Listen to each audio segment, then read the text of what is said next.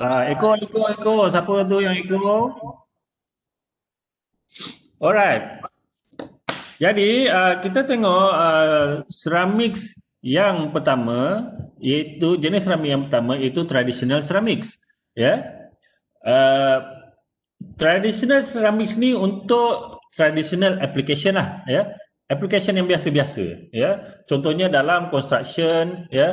earthenware, glassware, uh, itu traditional ceramics. Ya, dia bukannya uh, yang modern lah. Ya. Okey, dan traditional ceramics ni dia ada tiga basic komponen untuk menghasilkan dia, ya, iaitu clay, silika dan juga feldspar. Ha, tiga benda ni kena ada lah untuk menghasilkan traditional ceramics, ya. Clay, silika ataupun nama lain dia flint dan juga feldspar. Ya, clay ni apa dia? Dia clay ni tanah liat lah. Ya, tanah liat. Ya, tanah, tanah liat adalah clay. Ya, uh, jadi clay ni komponen utama lah ya. Dia provides workability. Ya, maksud dia clay ni memudahkan untuk kita bentuk. Ya, uh, dia komponen yang menyebabkan uh, kita mudah membentuk dia. Ya, provides workability.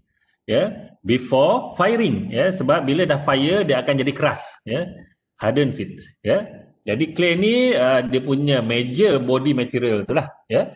Uh, komponen yang utama. Komponen yang kedua adalah silika. Silika ni dia memberikan high melting temperature. Ya. Jadi dia adalah uh, komponen refractory bagi ceramic menyebabkan dia tahan suhu tinggi. Uh, silika ni. Ya. Uh, kenapa tu? Ada chat, ada masalah apa?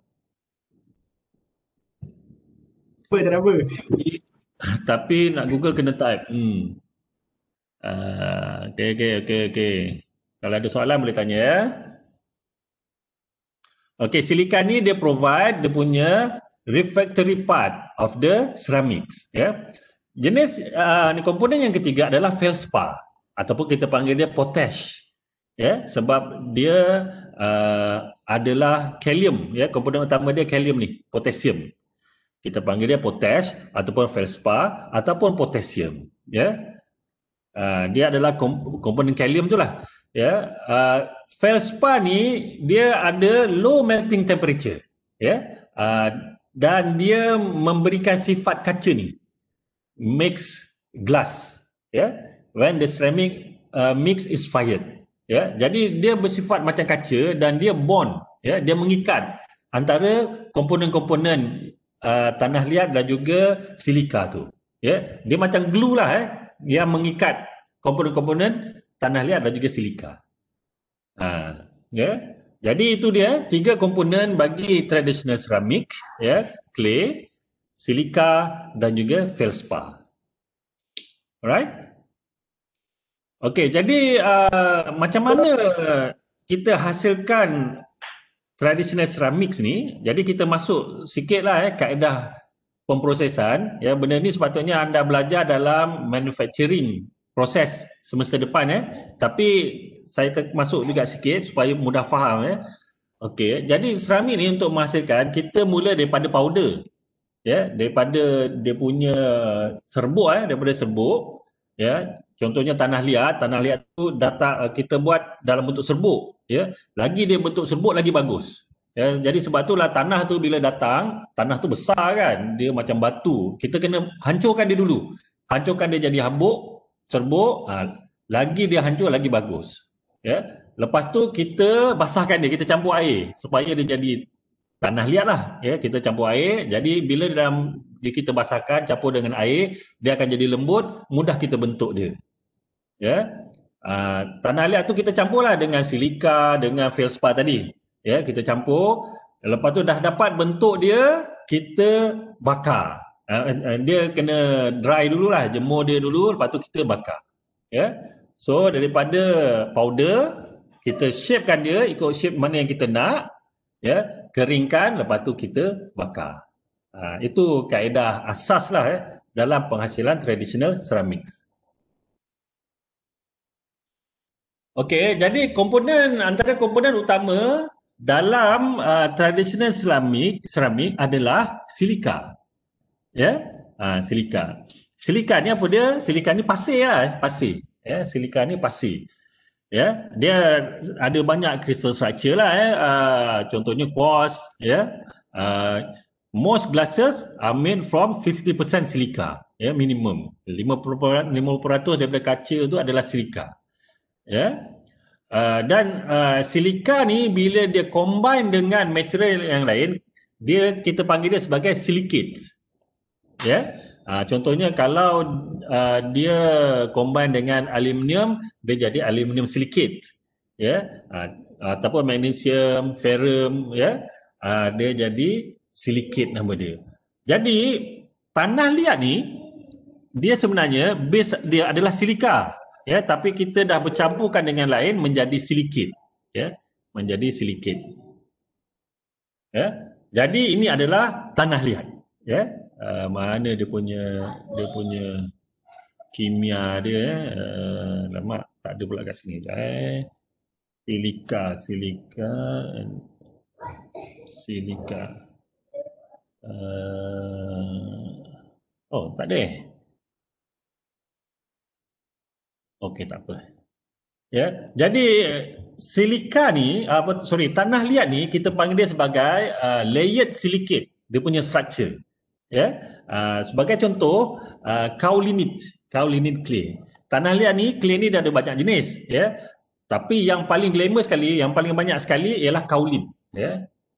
Kaolin tanah liat kaulin ataupun uh, nama dia uh, kita boleh panggil dia sebagai kaulinit clay ya ya jadi kaulinit clay uh, dia struktur dia berlapisan ya kita ada layer aluminium oxide ni uh, aluminium hydroxide uh, dan juga layer silicate ya so uh, jadi yang yang warna pink ni oksigen yang warna oranye ni boleh nampak kan yang warna oranye ni adalah OH ya Lepas tu yang warna ah ini OH lagi. Ya. Ah OH ya, OH. Alright. Ah, jadi dia berlapisan apa ni tanah liat tu ya, tanah itu berlapisan.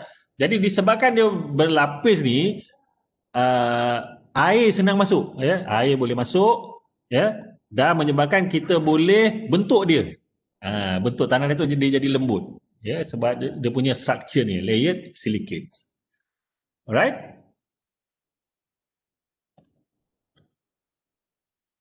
okey jadi uh, dia punya counter ion tu dia punya uh, yang ni lah ya yang kalium ya ni kita boleh tukar-tukarkan dia ya. Jadi kalau dia adalah KL KL3 AS3O10 OH2 ni kita panggil dia sebagai mica ya. Mikas ya. Uh, ada lagi layer silicate yang lain itu bentonite ya bentonite ni dia boleh jadi sealant. Ya contohnya dia boleh seal uh, wells perigi. Ya. Okey. Jadi uh, dalam ceramics kita pakai clay ya. Tanah liat ya. Apa dia clay ni tanah liat ni sebenarnya dia adalah particles of decomposed rock ya. Batu yang telah terurai. Ya itu uh, mana datangnya tanah liat tu ya decomposed rock combine with water. Jadi bila kita campurkan dengan air dia akan jadi uh, boleh kita bentuk dia lah ya. Dia akan bersifat macam plastik ya. Dia akan malleable mudah untuk kita bentuk ya. Dan bila kita bakar dia dalam kiln ya kiln kiln ya. Kiln kiln ni uh, relau lah eh, relau. Ataupun tempat bakar tu eh kita panggil kiln. Ya, bila kita bakar dia, partikel-partikel tu dia akan fuse, ya, dia akan akan bergabung antara satu sama lain. Ya, fuse the particles into a stone like state. Ya, uh, dia akan jadi keras macam batu. Ya. Jadi clay adalah gabungan antara silika, aluminium oxide and water. Ha, itu yang ada dalam clay. Ya. Dan dia adalah decompose ya, decompose rock, batu yang telah terurai, yang telah uh, yang telah uh, di dikena dengan air ya, dengan banyak ya.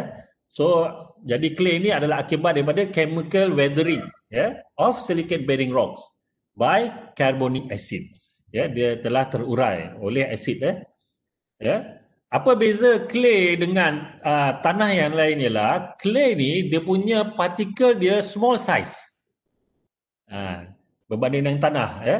Dia punya partikelnya kecil ya dan dia bersifat plasticity dan dia affinity for water ya. Dia suka air ya. Air boleh melekat kepada dia. Okey jadi uh, clay products ni yang uh, secara tradisional dia uh, secara sejarah dia dia ada beberapa nama lah ya. Iaitu kita ada earthenware ya. Earthenware uh, yang ni adalah uh, apa ni uh, clay products yang uh, low fire porous body ya.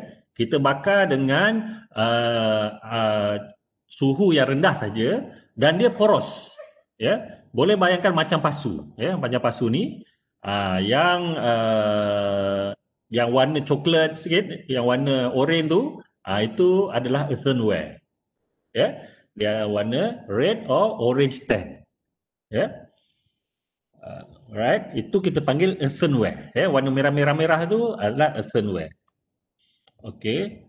Kemudian kita ada stoneware. Ya stoneware ni kita bakar dia pada suhu yang tinggi sikit daripada earthenware. Ya. Kita bakar suhu tinggi sikit, jadi bila pada suhu tinggi sikit, dia dah jadi macam sifat kaca. Ya, jadi kita panggil dia vitreous, ya, vitreous body, ya, berwarna grey brown. Okey.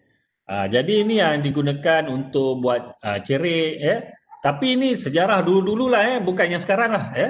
Ha, yang ni kalau orang uh, kalau orang arkeologi jumpa Uh, bentuk yang macam ni kita panggil uh, stoneware. Okay. Next, uh, types of clay juga kita ada porcelain. Ya. Yeah. Porcelain. Porcelain ni ialah uh, hasil daripada pembakaran paling tinggi sekali. Highest temperature berbanding dengan stone, uh, earthenware dan juga stoneware tadi. Ya, yeah, highest temperature ya. Yeah.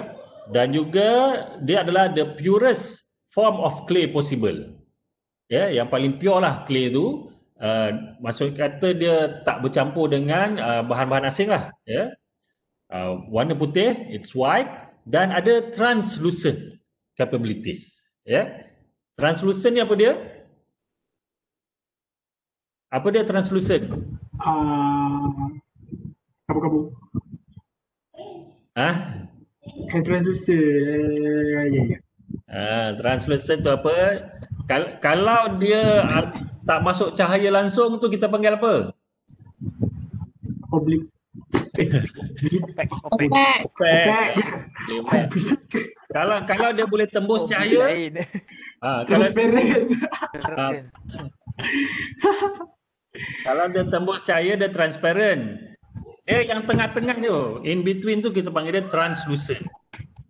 Uh, dia boleh nampak lah bayang sikit eh, bayang-bayang sikit. Di sebalik dia tu eh. Kita panggil translucent. Alright. Okay, uh, kemudian kita ada satu term lagi uh, jenis tanah liat kita panggil greenware. Eh. Greenware ni adalah tanah liat yang kita belum bakar lagi. Uh, itu kita panggil dia sebagai greenware. Uh. Okey, uh, jadi uh, tanah liat tu dalam proses penghasilan dia tu kita campurkan dengan air, lepas tu kita keringkan, kita bakar, kita dapat produk. Yeah? Jadi semasa proses proses dia tu, uh, bila tanah liat ni kita campurkan dengan air, uh, benda tu kita panggil sebagai slip. Ya, yeah, slip. Ya, yeah? campuran tanah liat dengan air. Ya, yeah? jadi dia dalam keadaan lembut sangatlah. Eh? Kita panggil slip. Ya, yeah?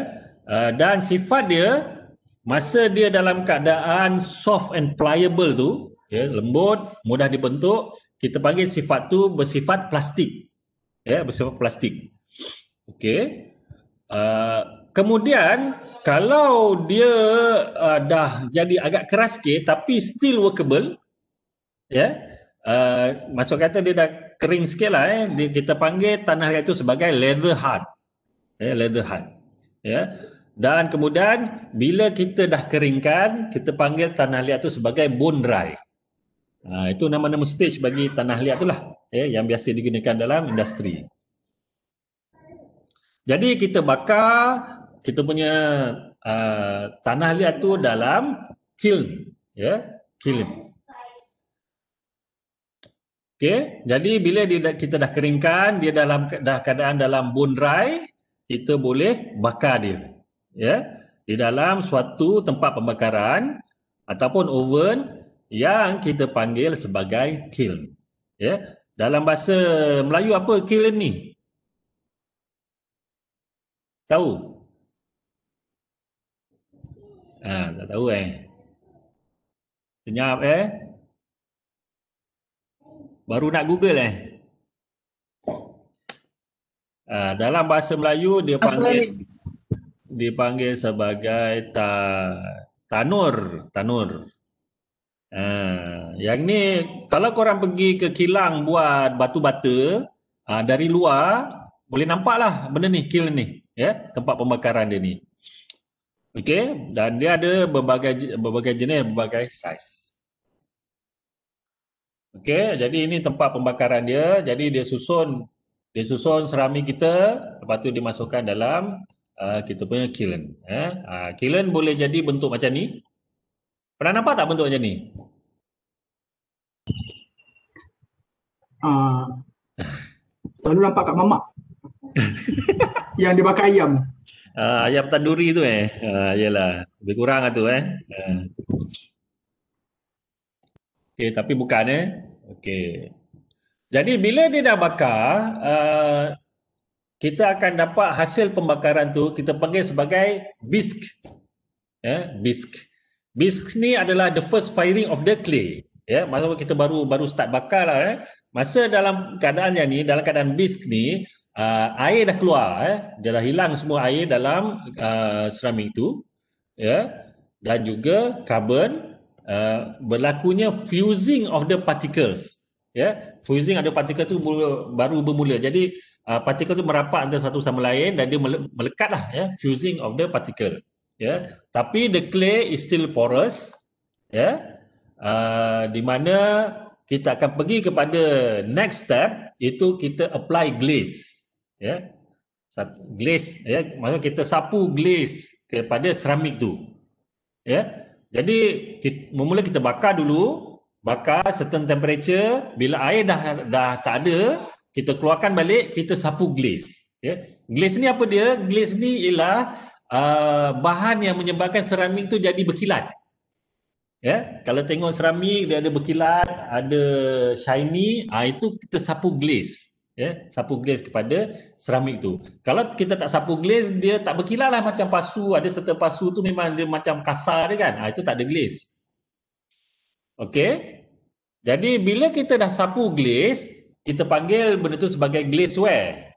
Ya, sapu glaze, kita masukkan dalam uh, dalam kiln balik, uh, kita bakar, itu dah dalam kategori glazeware nama dia. Ya, kita bakar kali kedua, ya, second firing. Ya, dengan clay yang kita dah coat dengan glaze ya kita bakar pada suhu yang lebih tinggi daripada yang asal tadi ya. Uh, jadi berlakulah fusion ya fuses the particles into a solid non porous state ya. Jadi proses pembakaran ini kita panggil vitrification. Vitrification. Ni salah ejaan ni V V3 vitrification vitrification vitrification ya? Yeah? ah itu nama proses dia.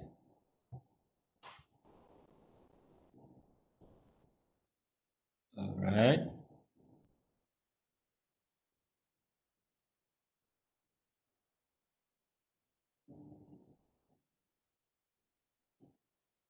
Hmm Okey. Vitrification. Ya. Jadi uh, proses pembakaran yang pertama tu uh, ialah proses penghasilan bisque. Ya, bisque. Ya, uh, dan uh, semasa bila kita bakar tu kita akan masukkan uh, benda oh, nama dia cones ni. Ya, bentuk macam cone ni. Uh, cone ni guna dia untuk check temperature, suhu di dalam kiln tu. Ya. Uh, sebab uh, biasanya dalam proses uh, kita bakar ni traditional ceramic kita tak check suhu guna uh, guna uh, apa nama termometer ke apa. Dia tak ada kita guna alat cones ni nama dia ya. Cones ni uh, kita, kita boleh tahu bila dia dah sampai suhu yang kita nak uh, berdasarkan color dia dan juga dia akan jatuh je ni. Ah bila dia jatuh ni dah sampai dah suhu dia. Ya, uh, ni guna kaedah yang itulah ya untuk penghasilan traditional ceramics. Alright. Kemudian tadi saya beritahu uh, sebelum pembakaran yang kedua kita sapu dengan glaze ya. Right. Jadi apa dia glaze ni? Glaze ni ialah a powdery material that is coated on the ceramic then uh, fired to form a thin glass-like coating. Ya, jadi dia punya uh, salutan tu dia macam ber, uh, ber, bersinar lah, ya, bersinar. Kalau tak letak glaze ni dia tak bersinar. Ya. Jadi glaze ni akan create aesthetic smooth surface. Ya. Jadi permukaan tu jadi licin. Ya. Selain daripada selain daripada tu dia strengthens the piece. Ya. Hasil tu akan jadi lagi kuat. Ya. Jadi uh, boleh allow it to hold liquid. Ya, yeah? uh, jadi dia dah tak poros lah. Eh? Uh, jadi kalau kita letak air dalam dia pun boleh. Okay. Right. Jadi glaze adalah a glass coating fused to the surface of the ceramic. Okay. Uh, glaze ada berapa jenis? Uh, untuk traditional ceramic, glaze ada empat jenis. Ya. Sama ada jenis alkaline, jenis ash, jenis lead ataupun salt. Dia punya asas dia lah. Ya. Uh, kita ada jenis alkaline. Jenis alkaline ni uh, bermula dari lama lah ya, 4000 BC ya, di Middle East. Uh, ini permulaan dia. Ya. Dia adalah transparent, shiny. Ya. Dan juga dia ada campur dengan benda lain yang kita panggil sebagai underglaze. Ya. Jadi underglaze ni kita kita letak bersama greenware, ya. Sebelum kita bakar yang pertama tu itu adalah underglaze, ya. Jadi underglaze ni dia akan menghasilkan warna lah eh, to add color to the surface. Okay. Glaze yang kedua adalah ash, ya. Dia guna habuk habuk arang eh uh, dia pakai ash ya yeah? uh, sorry uh, arang daripada uh, kayu yang kita bakar ya yeah? plants ya yeah? dia punya arang tu habuk arang tu uh, boleh dijadikan glaze ya yeah? uh, yang ini digunakan di China, Japan, Korea, Thailand sejak tahun 1700. Okey. Yang ketiga adalah lead, ya, glaze yang asas dia adalah plumbum, lead, ya. Alright. Tapi lead ni kita tahu dia adalah poisonous ya. Uh, kita dah tak digunakan lah sekarang. Dan air sekali glaze yang asas dia adalah garam. Salt ya. Salt glaze. Ya. Bermula pada pada 12th century. Alright. Yang ni dibuat oleh orang-orang Jerman. Ya. German potters. Alright. Jadi itulah berkenaan dengan glaze. Ya. Seterusnya ni kita akan tengok jenis-jenis traditional ceramics ya. Iaitu kita ada enam jenis traditional ceramics ni ya. Tadi itu adalah proses penghasilan dia.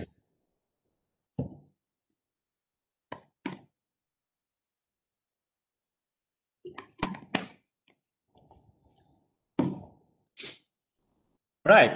Jadi traditional ceramics yang pertama adalah white west ya. White west apa dia White West? White West ni adalah produk-produk yang termasuk porcelain, china, pottery, stoneware, vitreous style.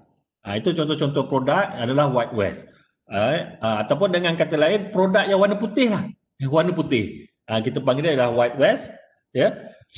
Jadi uh, porcelain dia masuk dalam kategori White West. Ya, sebab dia warna putih. Ya. China, China ni apa dia? Dia bukannya negara Cina tau. Dia adalah sejenis produk seramik kita panggil China. Ya, uh, ini uh, apa ni nama yang orang putih bagilah kan sebab negara China dia banyak menghasilkan produk seramik ni. Jadi jenis-jenis yang datang daripada China tu dipanggil China aje, ya. China. Jadi white west ni dia adalah white dan juga off white. Ha, dia warna putih dan hampir-hampir putih. Ya, ha, warna kelabu pun boleh. Ya, tak, dia tak semestinya putih betul-betul lah. Ya. White to off white in appearance. Ya, dan dia mestilah glossy ya glossy dan dia adalah macam kaca ya ada vitreous komponen dia okey kemudian sifat dia lagi lah impervious to fluid ya maksud dia uh, cecair tak ada kesan ke atas dia ya dia kalis cecair low conductivity to electricity ya penebat elektrik yang ya penebat elektrik kejap ya anak saya ni okey dah main main kat tempat lain Oh, tak ada wifi. Main tak pakai wifi? Uh-huh. Main kat sana, kat TV sana. Hmm.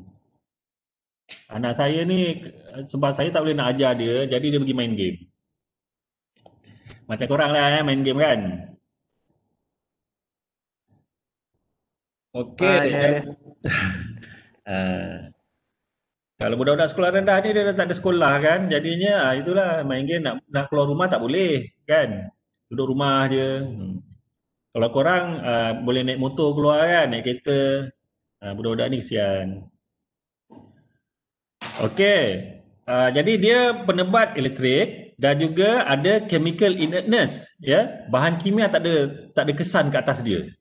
Ya. Dan ability to form into complex shapes. Alright? Uh, itu sifat bagi white west. Okay.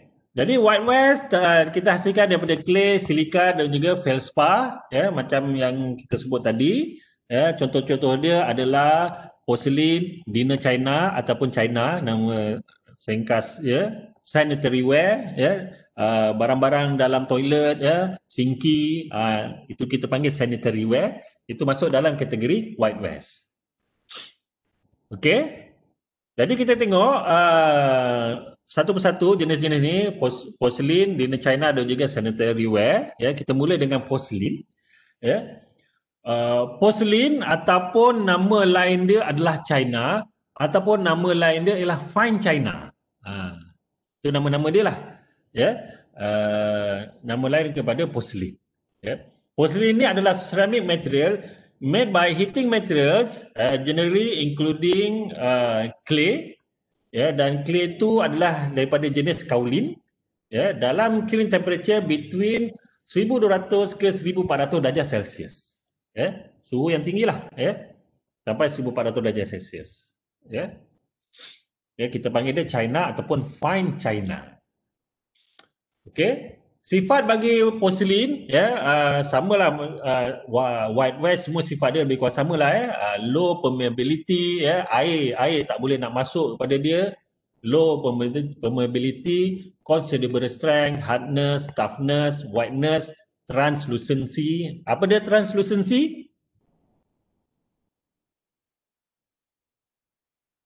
Tengah-tengah antara transparent dengan opaque. Betul. Lah itulah translucency eh. High resistance to chemical attack dan juga thermal shock. Ya, yeah, dia baguslah sifat porcelain ni eh.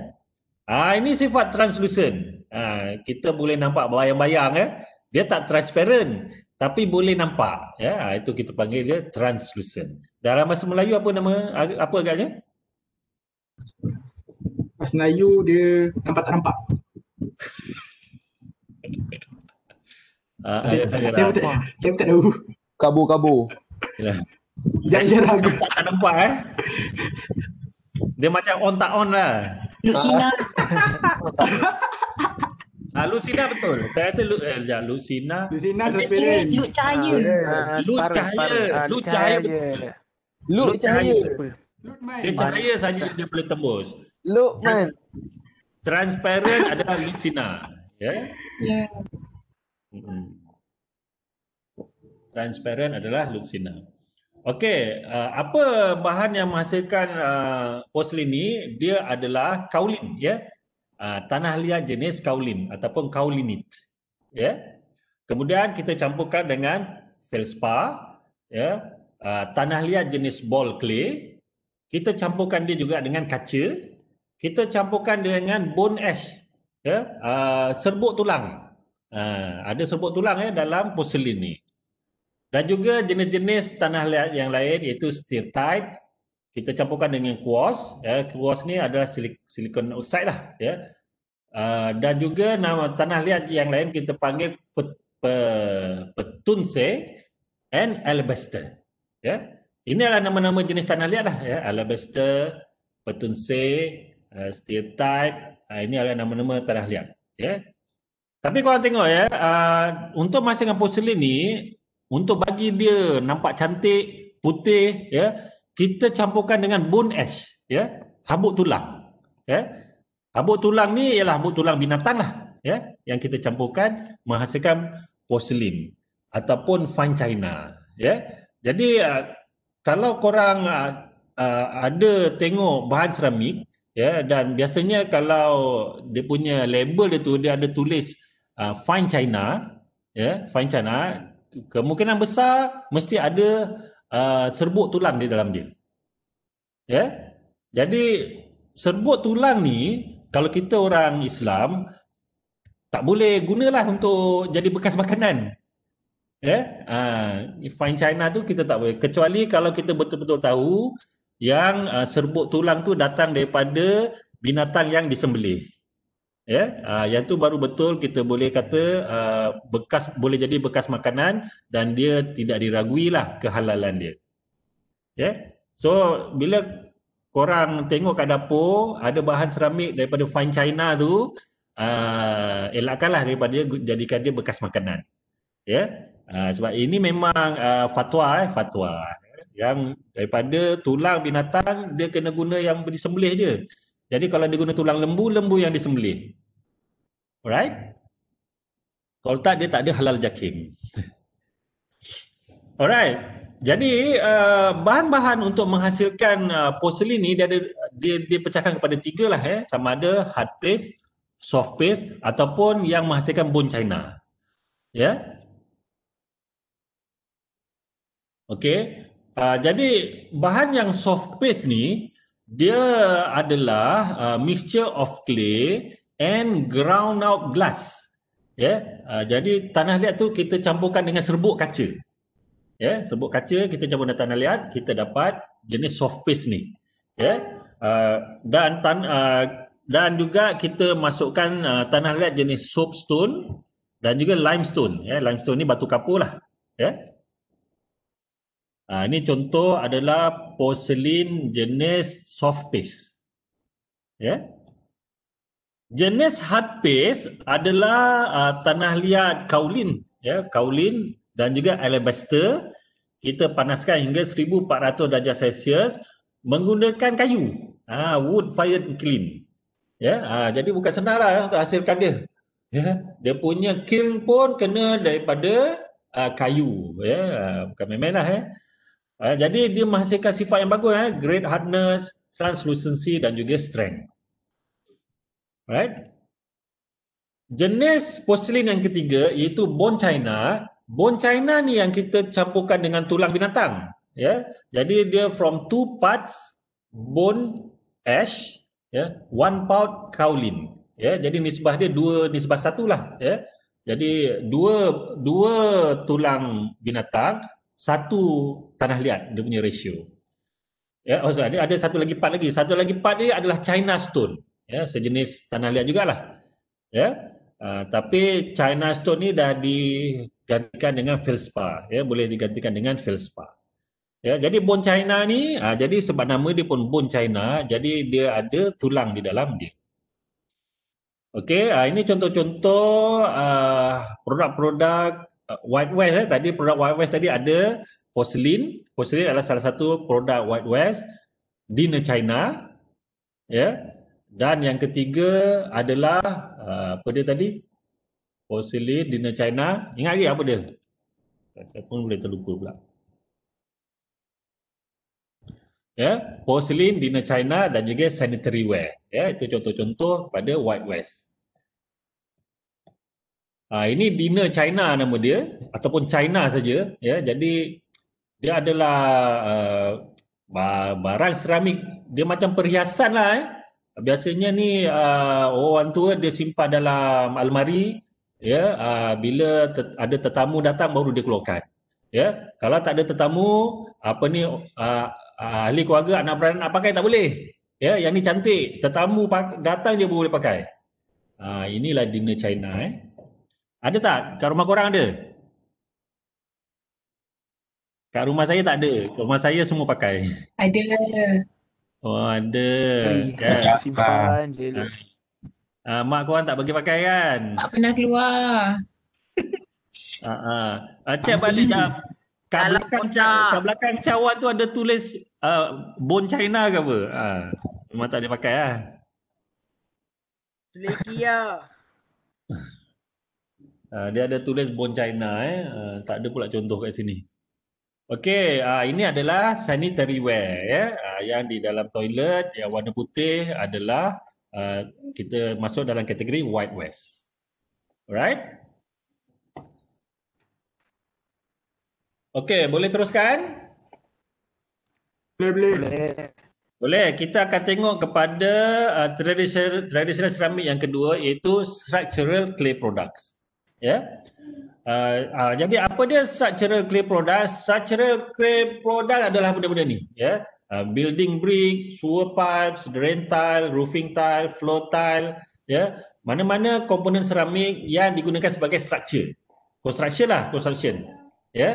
Uh, batu bata kan, batu bata uh, ni uh, pipe yang dibuat daripada seramik ya uh, longkang ya uh, bumbung tile uh, tile rumah uh, itu masuk dalam kategori structural clay products okey jadi uh, komponen-komponen ni uh, dia masuk dalam kategori uh, traditional ceramic sebab dia buat daripada tiga basic komponen yang asal tadi apa dia clay, silika dan juga feldspar. Ya.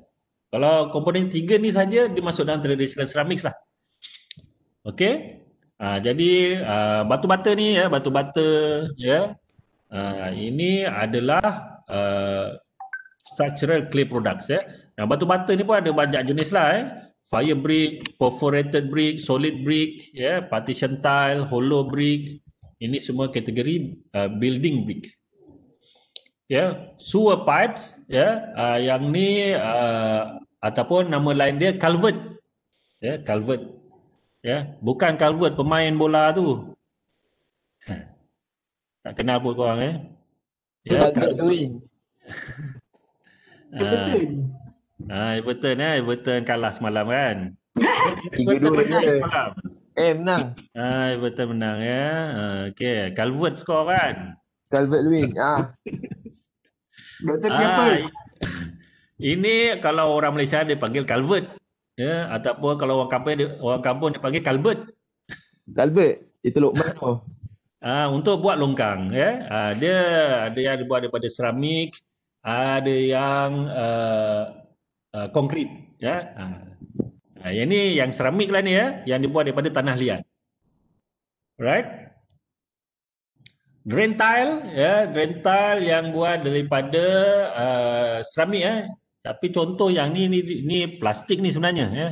Uh, tapi uh, lebih kurang samalah ya. Kalau seramik uh, bentuk dia macam tu lah ya untuk buang drain ke, uh, air ya ke uh, pipe uh, ke longkang ya. Uh, jadi air-air atas tanah ni dia akan turun ke bawah kita akan salurkan ke uh, saluran uh, drain lah. Okey, roofing tiles, ya, tiles yang buat bumbung tu semua adalah structural clay products, ya. Uh, tapi sekarang ni susah nak dapat lah, kebanyakannya dah jadi dia ganti dengan plastik. Ya, plastik. Okey, tiles untuk lantai itu adalah structural clay products, ya. Alright. Jadi itu adalah structural clay products. Next adalah bricks and tiles, ya. Okey, uh, bricks and tiles ni adalah uh, batu bata lah eh, batu bata. Ya. Uh, jadi batu bata ni sebab kegunaan dia banyak. Uh, batu bata ni adalah structural clay products lah kan. Tapi sebab kegunaan dia banyak, banyak kita ada komponen asing untuk dia. Ya. Uh, structural clay product. Sekejap ya.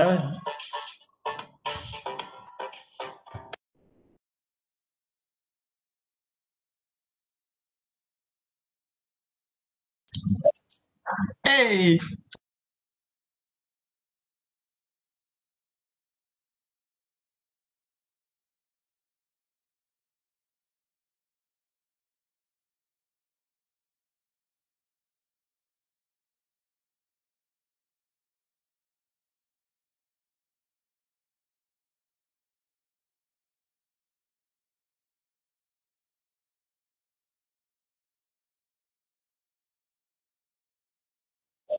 Okey.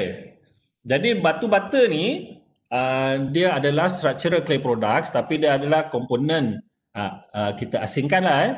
Yeah. Jadi kita bakar dia dalam kiln. Yeah. Dalam kiln. Yeah. Dibuat uh, bermula dengan daripada dalam bentuk soft dia lah ya. Yeah. Dalam bentuk uh, lembut dia kita bagi dia soft mud ya. Yeah dan juga uh, untuk mendapat bentuk dia kita tekan ya. Kita tekan dia ataupun kita lakukan extrusion ya extruded ya. Ya jadi kita kalau kita kita tekan kita tekan masuk dalam mold. Kalau extrude ya kita tekan dia akan keluar uh, ex, uh, kalau extrude dia, dia macam ni lah ya. Uh, ni extrude ya.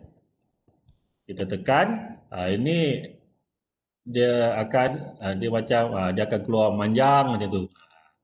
Uh, itu adalah extrusion. Ya. Yeah? Jadi komponen-komponen dalam uh, menghasilkan batu bata ni adalah pasir, silika, ya, yeah, 50% to 60%, kemudian tanah liat, ya, yeah, uh, 20 to 30%, kemudian lime, lime ni apa dia? Batu kapur, ya, yeah, 2 to 5%, kemudian kita ada iron oxide, kurang daripada 7% dan juga magnesia ya dalam 1%. Alright? Ha, itu adalah komponen-komponen untuk menghasilkan batu bata. Ya, jadi batu bata dia ada banyak design lah ya. Design yang paling standard sekali yang mana? Ni kan? Ni. Academy. Uh, uh, ni apa ni? Bonfire ke Jentaya ni? Bonfire.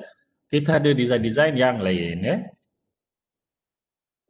Okey, jadi itu adalah brick and tile. Kita tengok seterusnya. Uh, cement and concrete. Ah ni bawah, bawah sekali ya. Abrasive dengan refractory ni kita skip dulu. Cement and concrete. Okey, apa dia cement ni? Cement ni adalah suatu mixture, satu campuran compound made by burning limestone and clay together at very high temperature 1400 hingga 1600 darjah Celsius. Ah dari situlah terhasilnya simen. Eh simen untuk menghasilkan kita punya bangunan kan. Ah, lantai simen, dinding ah. ah itu adalah sebenarnya campuran antara limestone, batu kapur dan juga tanah liat kita bakar ya. Simen yang paling popular sekali lah ni ah. Portland cement. Ya. Ha, Portland cement ni nama nama dan nama generik lah sekarang ni ya. Portland cement. Portland cement ni adalah campuran antara tricalcium silicate ya dan juga dicalcium silicate. Alright? Uh, dan uh, daripada simen ni lah kita dapat konkrit. Ya. Konkrit ni ialah kita campurkan pasir, batu ya dan juga simen. Ya untuk menghasilkan konkrit. Okey, jadi uh, dalam penghasilan uh, simen, simen yang dah kering tu lah, dia punya key, key ingredient dia adalah air. Ya, yeah. kita campur air, air kita campurkan dengan simen, ya, yeah, to form a paste, ya, yeah, that binds the aggregate together. Ya, yeah. uh, the water causes hardening. Uh, air tu juga lah yang menyebabkan dia jadi keras. Ya, jadi apa yang berlaku bila kita campurkan kita punya simen ni tricalcium silicate campurkan dengan air kita dapat yang ni ya kalsium silicate hydrate ya bersama dengan kalsium hydroxide ya Alright, jadi itu tidak balas yang berlaku lah semasa proses uh, semasa simen tu mengeras ya. Semasa simen tu mengeras. Okay, the reaction of water with cement in concrete is in, extremely important. Ya. Yeah? Dan dia tindak balas tu berterusan ya. Yeah? For many years. Ya. Yeah? Uh, when concrete dries, it actually stops getting stronger. Ya. Yeah? Uh, right. Jadi konkrit ni ada banyak advantage lah ya. Jadi dia ada long life, ya, low maintenance requirement, resistant to wind, water, rodents, insects, ya. Dan konkrit kita boleh mold dia, kita boleh cast dia untuk membentuk apa-apa bentuk lah. Ya. Dan dia, dia adalah non-combustible. Ya. Disadvantage dia adalah low tensile strength, ya, low strength to weight ratio dan juga dia boleh crack. Alright. Okay, next adalah refractories. Ya. Ataupun kau nak take file dulu,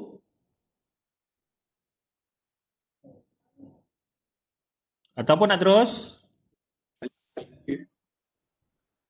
Teruskan. Oi, okey, terus ya. Baik, baik. Boleh kita teruskan. Sampailah letih ya. Next adalah refractories. Ini refractories eh. Refractories. Refractories ni dia adalah komponen-komponen seramik yang tahan suhu tinggi. Ya, jadi apa-apa yang tahan suhu tinggi ni kita panggil dia sebagai refractories. Ya, jadi adalah components of equipment used in uh, biasanya untuk kita hasilkan metals and glasses. Ya, uh, sebab proses penghasilan metal dan uh, logam dan kaca ni perlu suhu yang tinggi. Ya. Uh, jadi kita gunakan dia untuk menghasilkan uh, untuk menghasilkan furnace. Ya, relau.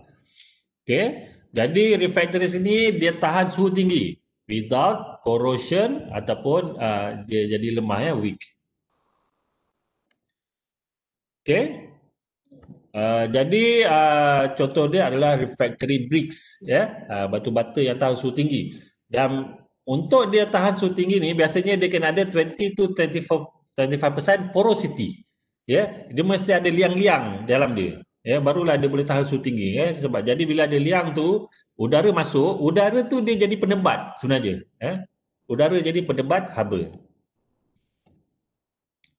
Okay, jadi ini adalah komponen-komponen bagi uh, refractories. Ya. Uh, jadi refractory ini ada tiga jenis lah kat sini ya, iaitu acidic, ya, basic dan neutral. Ya, tiga jenis refractory. Sama dia bersifat acid, uh, bersifat base ni adalah alkali lah, ya, ataupun dia uh, bukan acid, bukan alkali. Ya.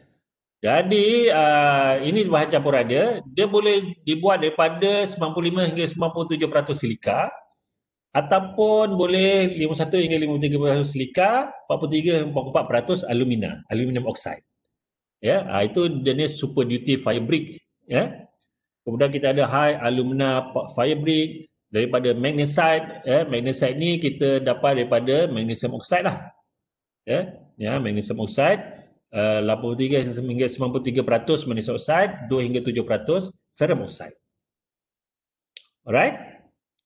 Okay, uh, bahan refractory ini nanti kita akan belajar lagi dalam new ceramics ya. New ceramics ada banyak lagi lah bahan-bahan refractories. Alright? Boleh? Boleh. Boleh. Okay, jap. Ada berapa banyak slide lagi ni? Doktor, abrasive tadi apa? Abrasive. Ma mana abrasive? Hmm. Abrasive ni adalah uh, dia macam kertas pasir lah. Kertas pasir tu kita panggil abrasive. Oh. Ya. Yeah, uh, abrasive ni nanti kita belajar dalam uh, new ceramics. New ceramic ada banyak lagi jenis-jenis abrasive. Ya. Yeah? Ada sekarang dah slide 93 uh, ada dalam uh, 60 slide lagi eh. 60. Dia tu maksudnya abrasive tu yang kata pasir tu yang kita akan guna untuk menghasilkan traditional ceramic ni ke ataupun dia punya Kan. proses? Itu dia punya produk. Oh produk. Produk dia. Ha, getah pasir tu adalah abrasive. Oh, Ya. Okay. Okey, uh, kita teruskan. Kita akan masuk kepada new ceramics, ya. New ceramics. So tadi adalah traditional ceramics, ya. Sekarang ni adalah new ceramics. Okay, new ceramics ni uh, kita ada pecahan-pecahan lagi lah berdasarkan kepada dia punya uh, function dia. Ya. Uh, jadi sama ada elektroceramics, elektroceramics adalah ceramik-ceramik dalam uh, bidang elektronik, ya. Jadi dia boleh dia sebagai electronic substrate dalam packaging, ya, dielectric, piezo, uh, electric, magnetic, optical, conductive ceramics, ya. Kemudian kita ada uh, yang lain-lain ni dipanggil advanced structure ceramics macam nuclear ceramics ya. Jadi sebagai bahan nuklear ya ataupun bahan untuk buang sisa nuklear dia pakai ceramics ya. Bioceramics, tribological yang ni adalah bahan-bahan yang uh, tahan uh, haus, tahan wear ya dan juga uh, ceramik untuk otomotif. Okay. Jadi new ceramics dia berbeza dengan traditional ceramics. Ya. Uh, dan dia adalah produk-produk yang terhasil dalam uh, uh, beberapa dekad yang terkini je. Ya.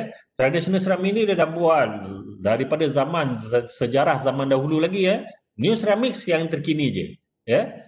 Uh, jadi dia dapat akibat daripada uh, improvement of processing techniques ya jadi processing yang lebih bagus okey jadi kita ada greater control over structures and properties of the ceramic ya kita boleh control dia ya jadi new ceramics ni uh, dia punya sumber dia asas dia daripada aluminium silicate ya Uh, sama macam traditional ceramics lah eh. Traditional ceramic pun asas dia adalah Oh sorry eh. New ceramics uh, dia adalah uh, dia punya compounds dia other than aluminium silicate yang selain daripada tanah liat. Uh, itu adalah uh, new ceramics lah ya. Yeah. Traditional ceramic kita buat daripada tanah liat. Okay. Dan uh, dia punya composition dia lebih simpler. Yeah lebih mudah mudah ni kita, uh, macam traditional ceramics tu kita main anggaran je ya jadi dia jadi kompleks campuran dalam tu new ceramics ni uh, kita nak control dia punya composition jadi dia punya composition ni mestilah uh, simpler ya lebih mudah ya. Jadi dia uh, uh, compositionnya datang daripada oxides ya. Oxide carbides nitrites borides ya. Dan lain-lain lagi lah ya. Itu contoh. Okey jadi dia boleh jadi datang daripada oxide ya. Oxide ni yang biasa dia adalah aluminium oxide ya. Uh, ini adalah dia punya application dia boleh juga datang daripada zirconium zirconium dioxide ataupun zirconia ya. Nama nama dia adalah zirconia ya. Boleh datang daripada carbides ya. Carbides ataupun yang ni ini kita panggil tungsten carbide ya. Ya jadi W2 adalah tungsten. Okey uh, silicon carbide ya. Uh, kita boleh ada daripada nitrites ya. Si3N4 ni ialah silicon nitride ya. TiN titanium nitride ya. CBN cubic boron nitride cubic boron nitride ya CBN uh, kemudian kita ada cermet ceramik campur dengan metals ya. Tapi yang ni kita tak belajar lah ya. Kita akan belajar nanti dalam uh, komposit ya dan kita ada diamond graphite asbestos ya itu contoh-contoh adalah contoh-contoh new ceramics okey jadi kita akan belajar satu persatu ya yang ni oxide, carbide, nitride ya. Bermula dengan oxide ya. Oxide ni Uh, contoh-contoh oksid ceramics adalah aluminium oxide, aluminium titanate, ti- titanate, ya, magnesium oxide, lead zirconate, ya, dan juga zirconium dioxide ataupun zirconium oxide pun boleh juga, ya. Uh, ini ada lima jenis uh, oksid ceramik, ya. Apa dia oksid? Oksid adalah chemical compound made up of oxygen combined with at least one other element. Ya. Yeah. Okey, kita tengok aluminium oxide. Apa dia? Aluminium oxide ialah a chemical compound of aluminium and oxygen. Ya. Yeah. Uh, dia ada beberapa jenis lah ya, several aluminium oxide ya. Dan, tapi yang paling biasa sekali adalah aluminium 3 oxide. Itu yang ni. Ya. Al2O3. Okey. Dan nama lain dia adalah alumina. Ya. Dia ada nama lain lah tapi nama glamour dia alumina lah ya. Dia ada nama lain dia aloxide, aloxide, alundum. Ya, tapi biasa kita panggil alumina. Okey. Sifat dia adalah dia hard, strong, sharp abrasives, ya. Uh, dan dibuat daripada alumina gel that is dried and crushed. Ya, uh, itu sifat bagi alumina. Ya. Dan uh, dia uh, aluminium oxide ni has the ability to refracture ya at the submicron level ya. Jadi bila kita pecah dia boleh pecah lagi pecah lagi sampailah level micron ya. Sampai kecil lah dia. Okay, application bagi aluminium oxide adalah sebagai medical prosthesis, ya, uh, apa ni bahan-bahan dalam badan manusia lah, ya, medical prosthesis. Uh, ini apa bendanya ni?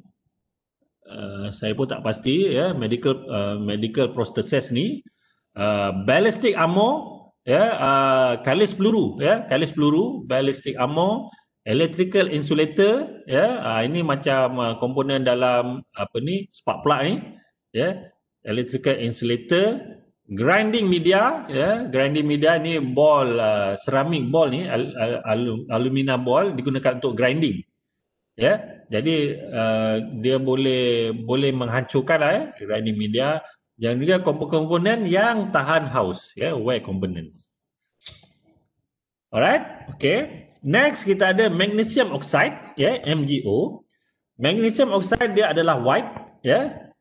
Hygroscopic ya yeah. high high hygros hygroscopic uh, solid mineral.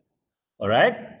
Uh, mineral uh, dia kita panggil sebagai pericles ya yeah, pericles ya. Yeah. Uh, formula dia lah MgO ya. Yeah dan kita hasilkan melalui proses calcination of magnesium carbonate ataupun magnesium hydroxide ya yeah, by the treatment of magnesium chloride with lime ya yeah, itu proses penghasilan magnesium oxide lah ya yeah. Kegunaan magnesium oxide adalah sebagai heating element ya uh, sebab dia tahan suhu tinggi ya jadi dia jadi bahan pemanas ya. Thermocouple tubes ya uh, thermocouple ni dia macam uh, macam thermometer lah ya. Uh, untuk cek suhu ya. High temperature crucibles ya komponen-komponen dalam furnace ya dan juga cement ya magnesium oxide Okay, next adalah zirconium dioxide ataupun zirconia. Ya, uh, ini adalah application dia sebagai dental ceramics. Ya, uh, dental ceramics sebagai technical cutters ya. Uh, alat pemotong tubes and pipes ya yang tahan suhu tinggi lah ya. Seal rings bearings and sealings ya. Itu zirconium dioxide ya. Dan zirconium dioxide zirconia juga digunakan sebagai uh, oxygen sensor untuk mengesan oksigen ya. Oxygen sensor. Okey jadi uh, dia boleh sense kandungan oksigen lah ya. Jadi bila ada perbezaan antara kandungan oksigen contohnya antara dua yang ni yang ni higher oxygen content ya. Lepas tu kita ada uh, reference punya oxygen content ya. Jadi bila dia buat macam tu berlaku, berlakunya voltage difference uh, ada voltage terhasil jadi kita boleh uh, kesan kehadiran oksigen di dalam dia ya Jadi uh, zirconia kita boleh gunakan dia sebagai oxygen sensor. Okey, jadi banyak lagi kegunaan zirconia ni sebagai dye material ya, uh, sebagai acuan ya, uh, thermal barrier coatings ya, piston caps, cutting tools. Alright. Uh, kita ada juga jam yang dibuat daripada zirconia. Uh, zirconium dioxide. Ini jam apa ni? Uh, Lumino eh, Lim, Lumino. Harga dia ah, ni 65,700. Uh, boleh beli satu kereta lah eh. jam ni. Uh, Lumi, Lumino Paneral ya. Ini uh, ni dia punya dia punya case ni dibuat daripada zirconium oxide lah. Zirconia. Jadi bila dia seramik, dia susah nak cala lah. Ya, susah nak cala. Okey, next dalam kategori apa ni oxide ceramics ni adalah aluminium titanate. Ya, jadi dalam kes ini kita ada aluminium dan juga kita ada titanium dalam dia. Ya, jadi a mixture of alumina dan juga titania. Ya, uh, jadi kita dapat ini dia punya uh, compound dia ataupun yang ini. Ya, jadi kita hasilkan melalui heating of a mixture of alumina and titania at 1350 darjah Celsius. Ya. Jadi sifat dia yang bagus dia adalah high thermal shock resistance. Ah ha, itu sifat dia. Ya, dia tahan thermal shock. Apa maksud thermal shock? Uh, bila kita dia daripada sejuk ke panas dalam masa yang cepat dia boleh tahan. Ya, ataupun daripada panas ke sejuk dalam masa yang cepat dia boleh tahan ya. Ha, jadi thermal shock tu dia boleh tahan ya. Sebab apa dia ada very low coefficient of thermal expansion. Ya. Sebab apa bila kita panaskan suatu material tu dia akan dia akan expand, memanjang. Ya. Tapi untuk aluminium titanate ni dia kesan dia sangat rendah ya. Dia tak expand pun. Okay. Disadvantage dia adalah dia ada very, very low, relative low mechanical strength. Ya, dia tak kuat. Tapi dia tahan shock resistance, uh, thermal shock resistance. Uh, ini bagus dia. Okay, jadi disebabkan dia tahan thermal shock, kita boleh gunakan dia sebagai riser tubes. Ya, ni riser ni adalah uh, komponen untuk uh, cari gali minyak. Ya, uh, dia nak ambil minyak daripada dasar bumi, dasar laut tu, uh, kita sedut dia naik ke atas, uh, tempat dia naik ke atas tu kita panggil riser. Ya. Yeah? Uh, riser ni yang mana satu yang ni saya rasa, ya. Yeah? Riser. Ya. Yeah? Untuk tubes and pipes, thermocouples untuk cek suhu dosing tubes, ya, yeah? dosing tubes. Ya, dosing tubes untuk tube untuk bawa bahan yang panas lah ya, uh, dosing tubes. Okey, seterusnya, yang ni yang terakhir rasanya ni, uh, untuk uh, jenis-jenis uh, ceramics berasaskan kepada oksida adalah lead zirconate titanate. Ya, yeah? ataupun nama lain dia adalah PZT, ya. Yeah? Uh, P itu adalah lead lah ya, plumbum, ya. P ini datang daripada plumbum ataupun nama lain dia lead lah, ya. Z itu adalah zirconate, T itu adalah titanate, ya. Dia adalah suatu uh, intermetallic inorganic, comp- or inorganic compound. Jadi dia seramik lah. Eh. Formula dia adalah ni. Ya, PbZrTiO3. Ya, di mana Zr dengan Ti ni dia adalah X dengan satu tolak X lah. Ya, di mana X tu antara kosong hingga satu. Okey. Jadi nama lain dia adalah PZT. Sifat bagus dia adalah dia ada sifat piezoelectric. Ya, ataupun piezoelectric. Apa sifat piezoelektrik ni? Ingat lagi tak?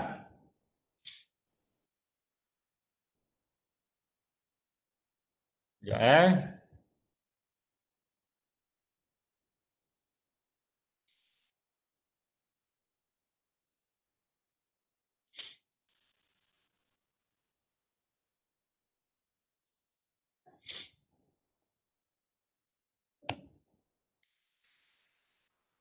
Alright. Ha, gatal pula hidung. Okey. Ha, apa apa dia sifat piezoelektrik ni? Ingat tak? Kita dah belajar dah minggu lepas ni. Ah, stress. Uh, dia dia boleh menghasilkan cas elektrik bila kita kenakan stres. Uh, kita tekan dia, dia menghasilkan elektrik. Uh, itu sifat piezoelektrik ni. Okey. Uh, jadi bila uh, yang ni dia banyaklah kegunaannya dalam uh, ceramics ya. Okey, jadi uh, dia gunakan dalam sonar ya. Apa dia sonar ni? Sonar ni adalah uh, untuk mengesan kedalaman lah eh, kedalaman uh, dalam dalam laut ya. Dalam sonar ya, beacons, imaging, current meters ya. Dalam aerospace, gyroscope, accelerometers untuk level sensing ya, kita guna PZT ni. Banyak kegunaan dia. Eh dalam telecommunication dalam telecom lines buzzers ya alarms ya haptics feedback haptics ni apa benda uh, apa ni dia macam sensor sensor uh, boleh bagi vibration ya macam kalau, kalau handphone kita tu bila kita tekan certain area tu dia macam ada ada ada ada rasa. Ha, ada rasa. Ha, itu kita panggil haptics feedback. Okey uh, dalam mobile phone cameras. Ya uh, power seat control ya uh, yang automatik lah. Ya uh, kita tekan saja seat tu boleh berubah dia punya kedudukan. Ya uh, uh, uh, uh, reversing collision avoidance uh, sensor masa kita reverse kereta kita uh, dia ada PZT dalam tu ya anti knock sensor ya uh, nano positioning stages, uh, analytic tools, uh, scanning probe microscopy, advanced acoustics, ya, yeah, itu semua pakai PZT. Alright. Uh, lagi uh, dalam uh, aluminium oxide ni dia boleh digunakan sebagai ceramic armor. Ya, tadi dah tunjukkan kan uh, uh, sebagai uh, bahan kalis peluru, ya. Jadi dia pakai aluminium oxide. Ya, selain daripada aluminium oxide, dia dia ada bahan lain, boron carbide, ya, silicon carbide, uh, TiB2 ni, titanium bo, bo, boride, ya, titanium boride, ya. Uh, dia adalah extremely hard material, ya. Uh, dia boleh shatter the incoming projectile, ya. Jadi peluru tu boleh pecah lah, ya. Dan juga dia akan absorb energy, ya. Alright. Uh, ini adalah lagi sekali berkenaan dengan alu, alumina. Ya. Yeah.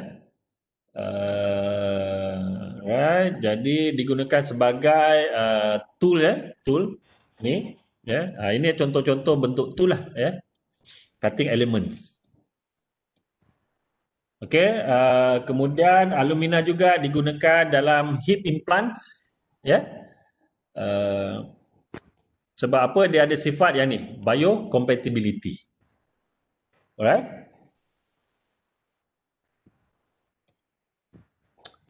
Okay.